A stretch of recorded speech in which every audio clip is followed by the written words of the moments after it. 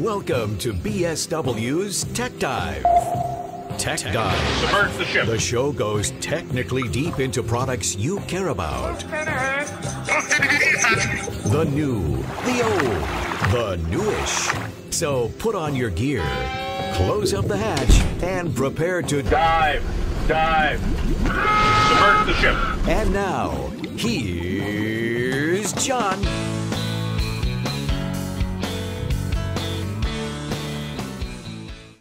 Hi, and welcome to this edition of BSW Tech Dive. I am John Lynch, Director of Business Development here at Broadcast Supply Worldwide, BSWUSA.com.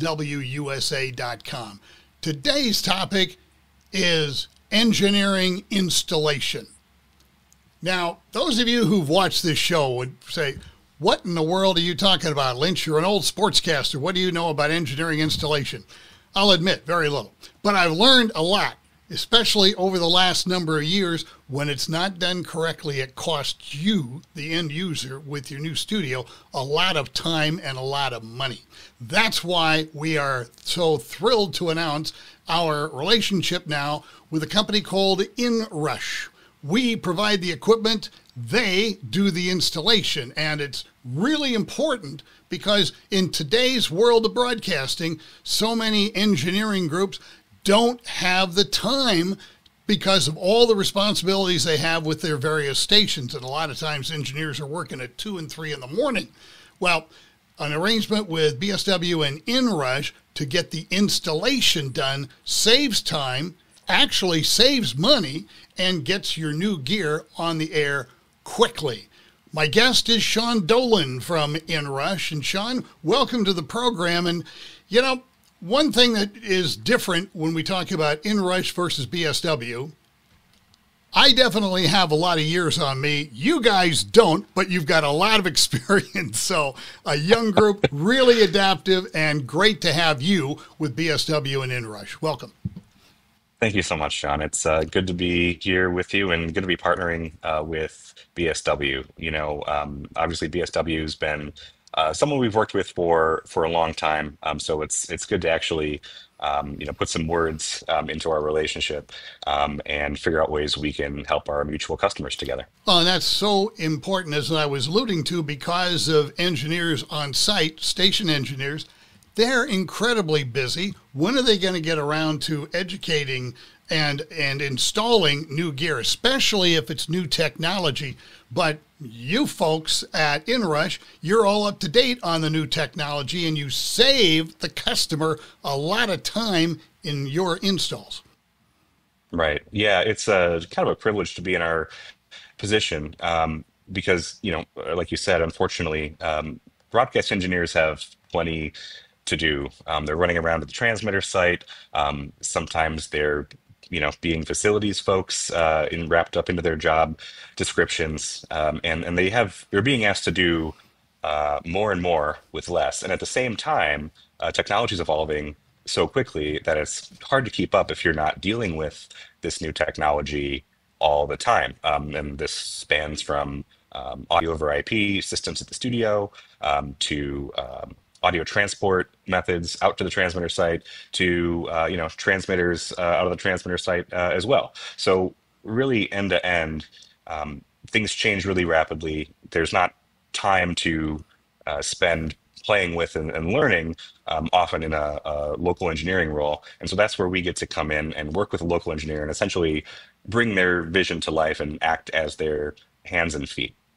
And it's incredibly timely because of the amount of time that you're saving the customer. Because let's face it, when a factory ships gear, the warranty clock has started.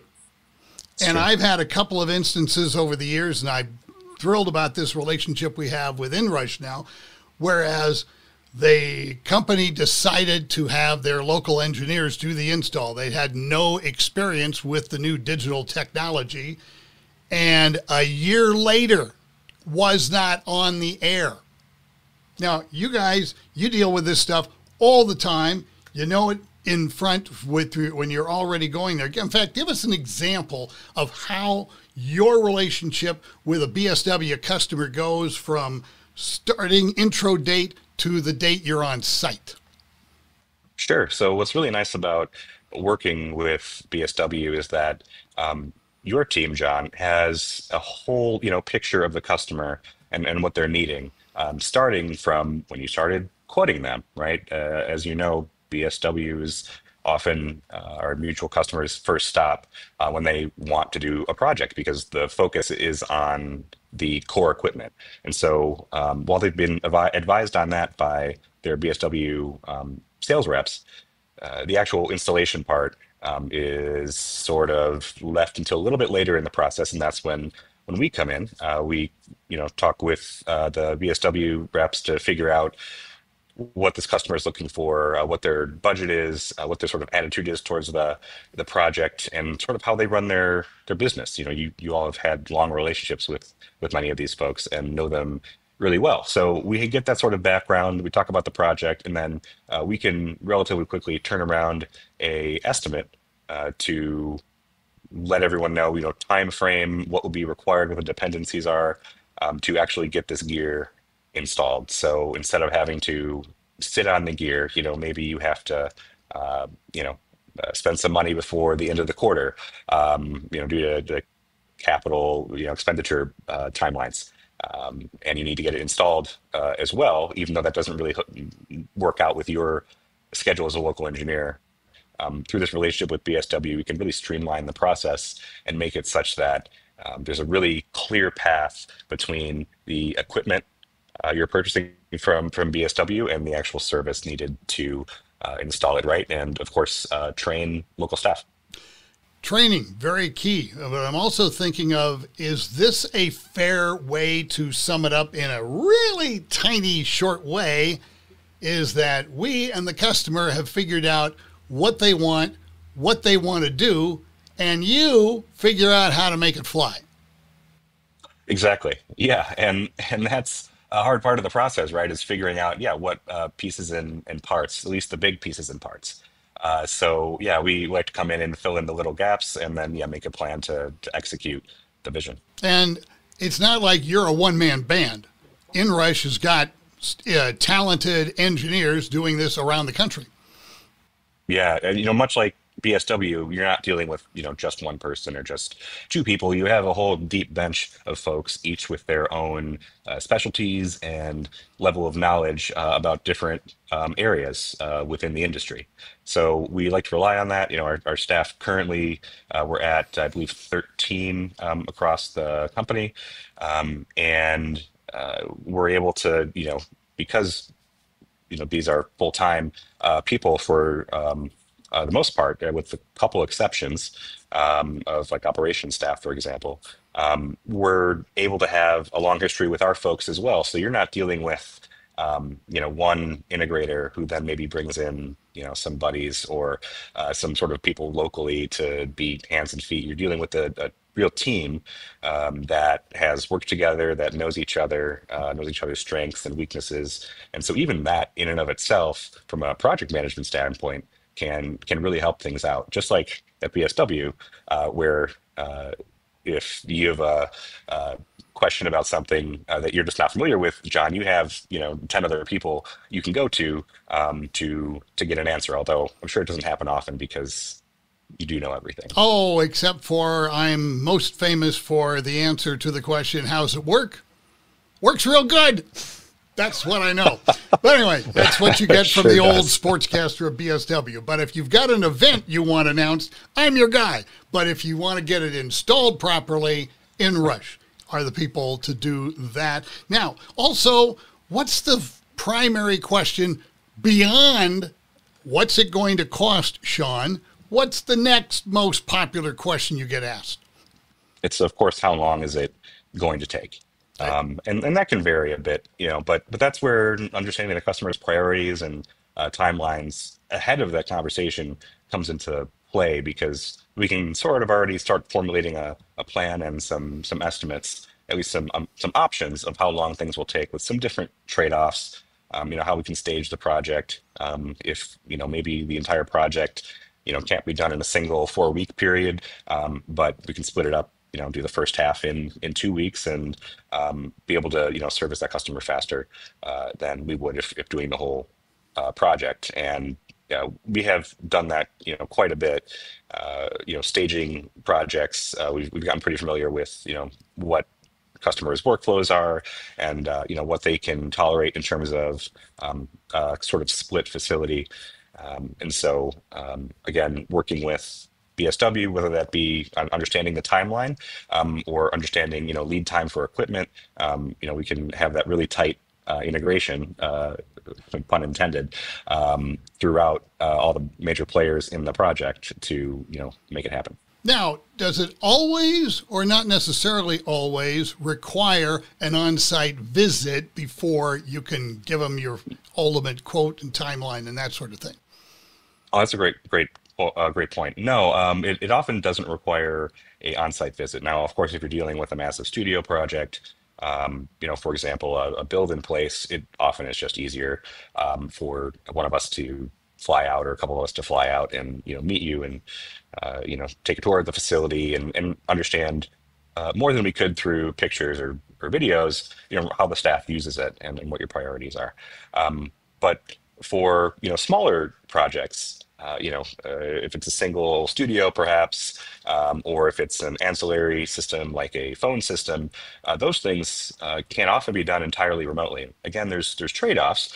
Um, for example, you know, if we're installing like a phone system, it's much much easier to train staff being physically there. But um, if uh, you know a customer is a bit more budget sensitive um, and is willing to to make that sort of small trade off to have you know remote training and remote work and have their local engineer spend a bit more time um, on the install than they would if it was a turnkey on-site uh, uh, sort of install, um, then you know that can represent some real savings uh, you know for that that customer and really align with with their needs. And the ideal arrangement is all of the gear is delivered on Monday and you start on Tuesday, in theory, anyway, right? right, right.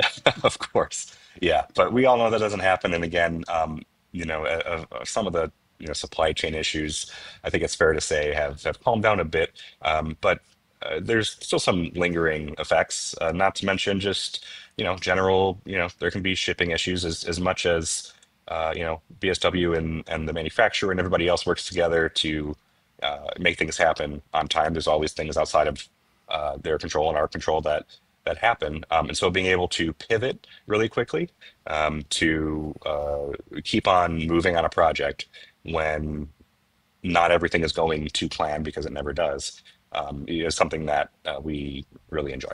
You've got the experience, and your company, InRush, has got the experience. By the way, we're talking with Shaun Dolan from InRush in doing all kinds of installations, including what we're on right now HDV Mixer, the new AI version of HDV Mixer with AirLink. So that's part of a studio installation, and you know how to do that too.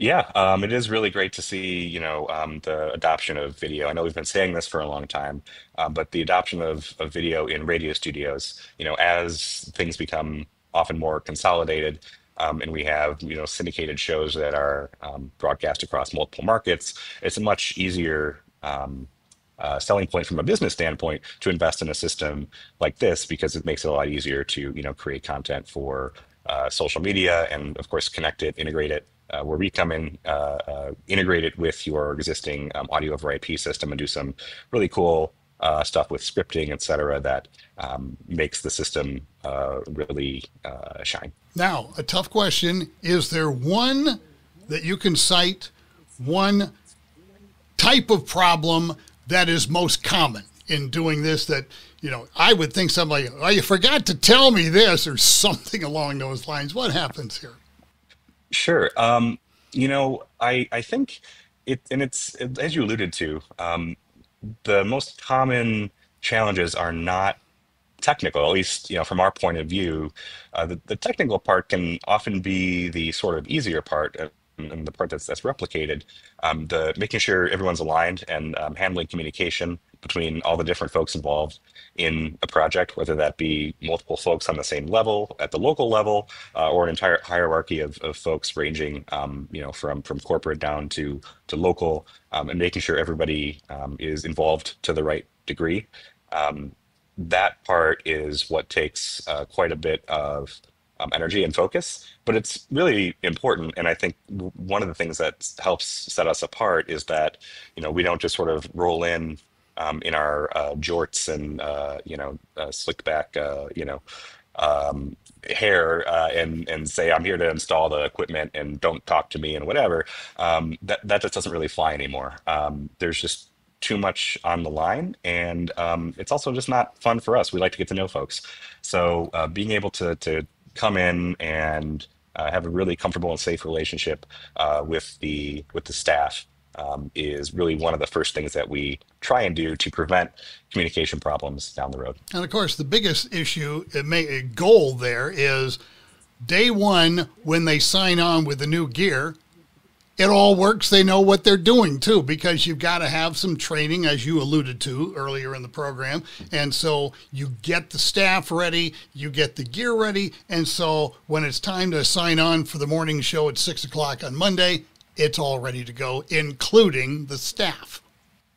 Right. Yeah, that's that's a huge part of it as well. It, it, exactly. Um, not just the setting expectations part, but um, the the training as well, and making sure people feel comfortable using the new equipment. You know, it's very easy to say, um, you know, as an engineer, what's the big deal? It's still a radio studio. It's still a console with faders and on and off buttons. You have a microphone. You have headphones. You have your automate. You know, like one could you know say uh, what's what's the big deal? But you know from the empathetic side you know we're really changing a lot. And uh, the you know the show uh, this person may be doing is an extension of of them and they have a lot writing on it. And so making sure they've had time to whatever degree they'd like to uh, come in and ask questions ahead of time.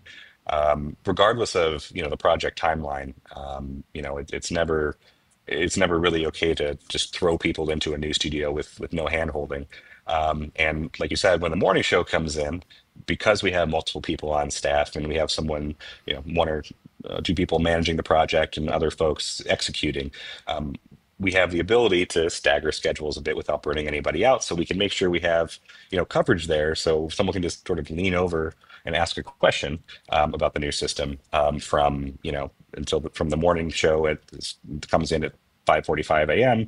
Uh, all the way until the uh, evening person's done at you know um, midnight, and then you know do it all over again. This is a great situation, you know, in BSW in my history going back into a previous century. But uh, there was a time when we were not really not- noted as being like a transmitter source. Well, now we are one of the biggest transmitter sources in the country. And of course, we've got the major lines in digital uh, studio gear, etc. We've got over 400 trusted partners and resources with various uh, uh, vendors. And now we have another one, InRush. Shaun Dolan, great to have you with us. Anybody that uh, is in need of a new studio setup and you want to also get it coordinated so you can get the installation, that's where you contact us at BSW, your favorite sales rep. There's the phone number, not over there, over there. There we go. Where'd it go? I know he's forget how. That's it. There it is. Okay, you got it. 800 426 8434. And we work directly with InRush so you get exactly what you need and when you need it on your studio installation. Shaun Dolan from InRush, thanks for joining us on this edition of BSW Tech Dive.